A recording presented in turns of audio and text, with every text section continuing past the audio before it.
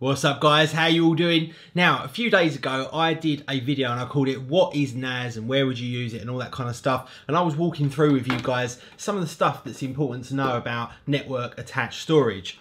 Now, in that video, I also said to you that I was going to start doing some more episodes in this kind of series, uh, leading more into the kind of enterprise type computing, as obviously that's where all my experience is. I've been implementing large uh, uh, business networks for 20 years, going right back to mainframe days, all the way up to now using virtualization, cloud computing, virtual desktop, all that kind of stuff. And I get asked so many questions on it. So I'm going to integrate that into these series series into this series. And if you guys have got more questions uh, that you'd like me to answer then leave them down below. And if it's a kind of big enough question or something that's got enough interest then I'll go through that uh, as much as I possibly can. Now I've already got quite a few ideas coming up I'm going to talk to you guys about virtualization in this video today, specifically. Then I'm going to start talking to you about virtual desktop, uh, and then I'm going to start talking to you about SAN as well. We're going to talk about storage attached network and iSCSI and all that kind of stuff. Uh, it's not going to be something that's like once a week or once every three days or anything like that.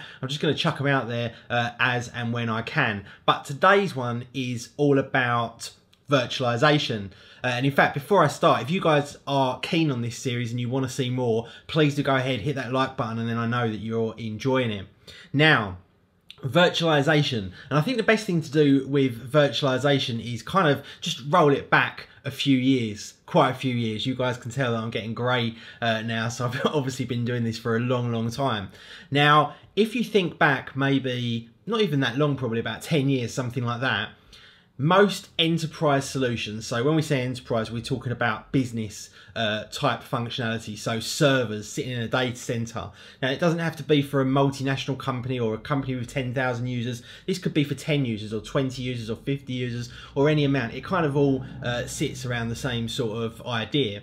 So, virtualization like I say, let's roll it back 10 years. Typically, what you used to find in an enterprise is that you would have a server, so a physical piece of tin. Now, obviously, this is a network attached storage device, but it's also a server as well. Um, this particular one, uh, the QAP, QNAP TS453A, this thing can be used for a web server, a file server, an email server, and in fact, a virtualization server, which I'll come back to later. But let's just think of this as any old server. Let's think of this as a 10 year old server sitting in a data center, and typically back then, it would have one job one job. So it would be an email server, or it would be a database server, or it would be a Oracle server, or it would be a file server, or a um, some kind of uh, user directory server, or something like that. Now, let's just think about that for a little while. Most of those kind of servers that we're talking about there, and we're talking about uh, servers in a kind of software world, they typically sit there doing not very much at all. Now, email servers and database servers, they can have a higher utilization, but things like directory servers, things like file servers, print servers, all of these different kinds of servers, they typically sit there at a very, very low utilization rate. And what that means is you've got loads of these servers all laying around and all of them were sitting there at 10% utilization or 5% utilization or even less than that. Now, obviously that means that you've got a situation where you're spending more money on hardware than you actually need because if you was to just have a tenth of each one of those servers running then you would be able to spend a lot less on money on it. But you couldn't necessarily do that because there would be times when they would peak and you needed to be able to deal with those peaks otherwise you get a flat line and that means that users are going to be waiting for their request to happen. So what VMware did is they took their workstation-based product, and a lot of people, a lot of you guys would have seen this already. And VMware really are the kind of advocates, if you like, the, the initial company that really came out with an enterprise-based solution. And they said, look, when we get this server, instead of just loading Windows Server on it and then putting Exchange or Active Directory or whatever the case may be on the top of it, what we're going to do is we're going to create uh, what we call a bare metal hypervisor. And what that is, is it's a very, very small Linux kernel that sits directly on the hardware that uses very, very little utilization of the machine itself, if nothing, a tiny bit of space, a tiny bit of memory, and a tiny bit of CPU. And then from there, we're going to break that down into multiple segments and we're going to allow different operating systems to live within that one single hypervisor. So think of it like this, okay? Now, obviously, again, this is a NAS box, so this is not, um, you know, technically correct, but it gives you a good example. So think of the overall box itself as the hypervisor, and then think of each one of these drive bays here, of which there's four, as virtual machines. Okay, so the hypervisor goes on the bare metal tin itself, and then inside that we've got four virtual machines which are running. Now, going back to my kind of original point, if you've got multiple machines that are only using a very small amount of utilization most of the time, but occasionally peak, if we put four machines on this box, then we've got 10%, 20%, 30%, 40% utilization, but all of them have got a whole bunch of space to peak uh, if they should need to.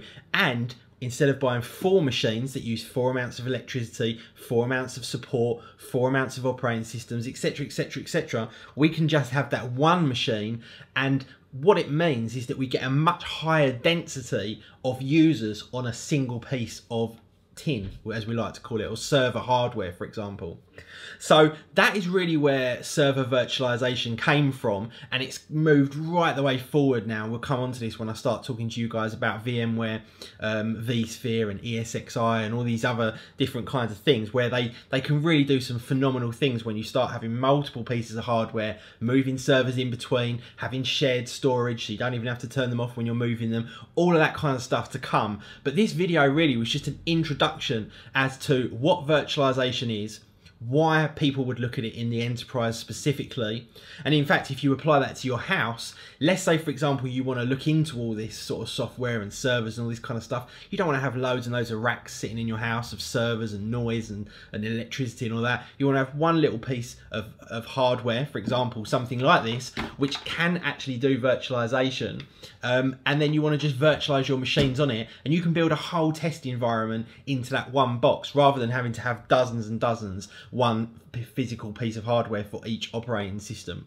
Now, in terms of doing this an easy way without having to go out and purchase a server operating, uh, sorry, a server piece of hardware and going out and getting VMware and ESX and all this kind of stuff, you can actually do that uh, virtualization on a QNAP.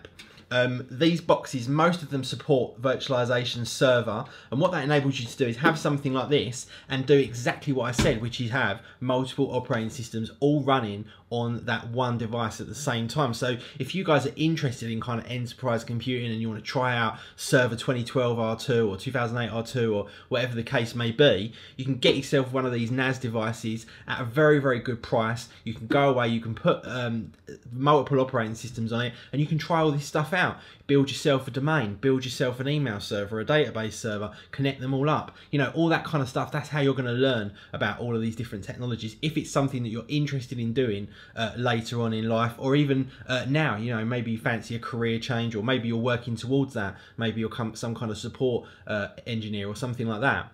So, anyway, guys, I hope that made sense to you. I feel like I've really kind of waffled on quite considerably in that video. But like I say, if you enjoyed it, please do go ahead and hit that like button for me. I would really, really appreciate it. And it would make you a very, very cool cat indeed. Hope you have a great evening. Uh, if you want more videos like this, let me know. And I will see you all in the next one. See ya.